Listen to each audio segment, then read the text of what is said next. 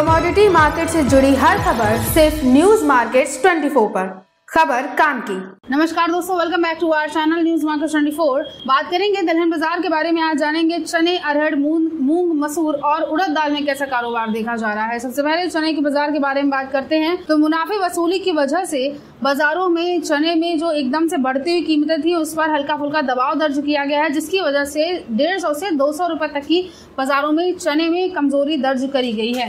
दाल मिलों की खरीद कमज़ोर होने कमज़ोर होने की वजह से भाव हल्के से कमज़ोर देखे गए। तीन सत्रों में इसके भाव में डेढ़ सौ से लेकर दो सौ रुपए प्रति क्विंटल तक की गिरावट दर्ज करी गई।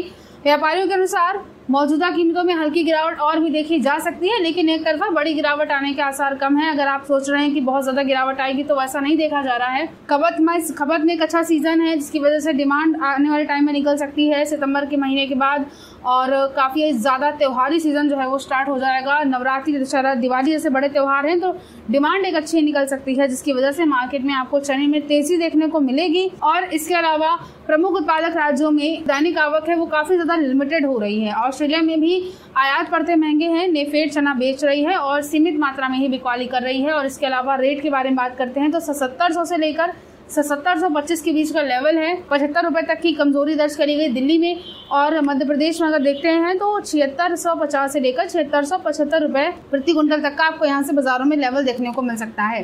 इसके अलावा अरहर दाल में भी गिरावट है, लेकिन बहुत ज़्यादा लंबी चौड़ी गिरावट नहीं है। अस्थायी गिरावट दर्ज करी गई है। दाल मिलों में खरीद कमज़ोर बनी रहने की वजह से लगातार डॉलर के भाव घटने की वजह से चेन्नई में लगातार दूसरे दिन देसी अरहर की जो कीमतें हैं, उसमें आपको गिरावट देखने को मिलेगी। और बाज़ारों में गिरावट देखी गई और मांग कमज़ोर बनी रहने की वजह से घरेलू मार्केट में अरहर की कीमतों में लगातार दूसरे दिन गिरावट रही और इस, इस दौरान चेन्नई लेमन अरहर के भाव में भी डॉलर में लगातार तीसरे कार्य दिवस में दाम कमज़ोर हुए। घरेलू बाज़ार में ऐसी कीमतों में दबाव काफ़ी हद तक देखा गया। उधर म्यांमार से भी लेमन का अरहर का जो आयात है वो बराबर हो रहा है। जानकारों के अनुसार अफ्रीकी देशों से शिपमेंट में कुछ देरी हो रही है लेकिन जल्द ही वहाँ से शिपमेंट में तेज़ी आने का भी अनुमान नज़र आ रहा है। रेट के बारे में बात करते हैं कि रेट बाजारों में कैसे देखे जा रहे हैं। और तो चेन्नई में अगर आप रेट देखेंगे लेमन अरहर का तो दो सौ पचहत्तर रुपए तक दाम कमज़ोर रहे नौ हज़ार सात सौ पचास रुपए प्रति क्विंटल का दाम यहाँ पर देखा गया। इसके अलावा देसी अरहर की जो कीमतें हैं, वो सोलापुर, नागपुर, कटनी, अकोला और रायपुर में कमज़ोर देखी गई, लेकिन अन्य मंडियों में इसके दाम मार्केट में स्टेबल बने रहे। उत्पादक मंडियों में देसी अरहर की जो आवक है, वो सीमित मात्रा में हो रही है। कीमतों में चल रही गिरावट जो है वो इस वजह से भी रुक सकती है। उड़द दाल में अगर देखते हैं तो स्टॉक कम है, इसी वजह से मंदा बहुत ज़्यादा और बहुत देर तक नज़र नहीं आ रहा है। वर्षा से आयतित चेन्नई पहुंचकर उड़द एफक्यू और एसक्यू के जो भाव हैं उसमें लगातार दूसरे दिन 20-20 डॉलर तक की गिरावट दर्ज करी गई। उड़द एफक्यू के भाव अगस्त और सितंबर शिपमेंट के 20 डॉलर से घटकर 910 डॉलर प्रति टन सी के आसपास देखे गए, जबकि इस दौरान एसक्यू उड़द के भाव 20 डॉलर कमज़ोर होकर 1000 डॉलर प्रति टन सीएनएफ के आसपास बाजारों में देखे गए। चेन्नई में आयतित उड़द की जो कीमतें हैं, वो डॉलर में लगातार दूसरे दिन कमज़ोर रही हैं। घरेलू बाज़ार में इसी कीमतों में मंदा दर्ज किया गया है। व्यापारों के अनुसार आयतित उड़द के भाव जिस तरह से घट रहे हैं, उसको देखते हुए दाल मिले केवल ज़रूरत के हिसाब से ही खरीदारी कर रहे हैं। रेट के बारे में अगर बात करते हैं की रेट बाजारों में कैसे देखा जा रहा है तो सौ रूपए तक कमज़ोर होकर चेन्नई में एसक्यू उड़द के दाम आठ हज़ार छह सौ रुपए प्रति क्विंटल और इस दौरान सौ रुपए तक घटकर दाम आठ हज़ार एक सौ पचास रुपए प्रति क्विंटल देखे गए हैं।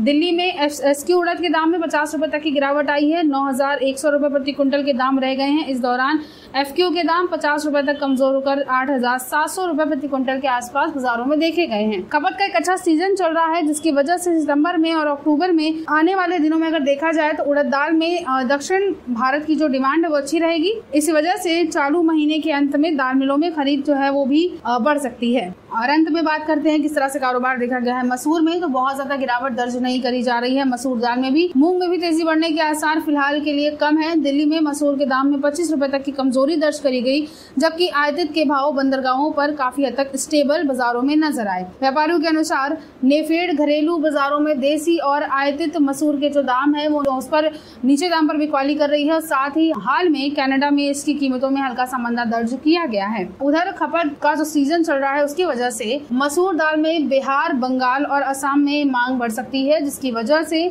आने वाले टाइम में आपको खरीदारी अच्छी देखने को मिलेगी। मध्य प्रदेश के साथ साथ उत्तर प्रदेश की मंडियों में भी मसूर में दैनिक आवक पहले की तुलना से कम हो गई है और चालू सीज़न में उत्पादन अनुमान भी ज़्यादा देखा जा रहा है। इसकी वजह से उत्पादक राज्यों में बकाया स्टॉक जो है वो फ़िलहाल के लिए अच्छा है। और इसके अलावा नेफेड के आयतित 2021 की मसूर बेचने के लिए सात हज़ार छह सौ छप्पन की उच्चतम निविदा मिली है और इसके अलावा मुंद्रा बंदरगाह पर निगम को पाँच हज़ार पाँच सौ अठासी रूपए प्रति क्विंटल की दर से उच्चतम निविदा मिली है। मूंग दाल के बारे में अगर बात करते हैं तो दिल्ली के साथ साथ उत्पादक मंडियों में भी आज बाजारों में कीमतें स्टेबल देखी गई। व्यापारियों के अनुसार मूंग दाल में बाजारों में अभी बड़ी तेज़ी आने का अनुमान नज़र नहीं आ रहा है। रेट के बारे में इसमें अगर बात करते हैं तो दिल्ली में रेट जो देखा जा रहा है, वो आठ हज़ार एक सौ पचास से आठ हज़ार चार सौ पचहत्तर रूपए प्रति क्विंटल के हिसाब से चल रहा है। इंदौर में समर मूंग में सात हज़ार से सात हज़ार पाँच सौ रूपए प्रति क्विंटल का बाजारों में दाम देखकर चल सकते हैं। और आने वाले दिनों में अगर देखा जाए तो कीमतों में तेज़ी मंदी बाजारों में उत्पादक राज्यों में बारिश पर काफ़ी हद तक डिपेंड कर सकती है कि किस तरह से बाज़ार में बारिश किस तरह से बारिश होती है तो उस चीज़ का असर आपको रेट पर देखने को मिलेगा। फ़िलहाल बहुत ज़्यादा गिरावट आने का अनुमान नज़र नहीं आ रहा है। मसूर दाल में भी, चने में भी बहुत ज़्यादा गिरावट नहीं है, क्योंकि अगला जो महीना है वो काफ़ी अच्छा त्योहारी सीज़न हो सकता है त्योहारी सीज़न होने वाला है तो डिमांड एक अच्छी निकलेगी, जिसका असर आपको कीमतों पर भी देखने को मिल सकता है। ओवरऑल दलहन बाज़ार में जो आज का ट्रेंड है, वो फ़िलहाल के लिए पॉजिटिव ही नज़र आ रहा है। तो आज की खबरों में सिर्फ़ इतना ही, मिलते हैं आप अगली खबरों के साथ। तब तक के लिए stay healthy stay safe for watching bureau report, news market twenty